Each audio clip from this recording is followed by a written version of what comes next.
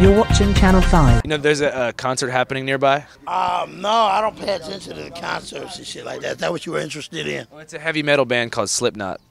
You want to go to Slipknot? Uh, what, what, what, what do they stand for? They stand for uh, hard rock metal music. They're from Iowa. They're like a. I'm meeting some uh, some new uh, you know, nice white ladies with a nice ass. So let's go. I know they got some white cinches.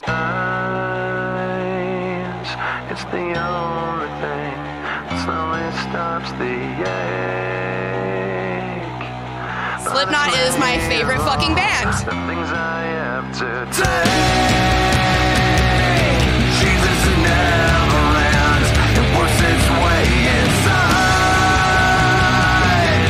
What's Slipknot, girl? It's my girlfriend's favorite band.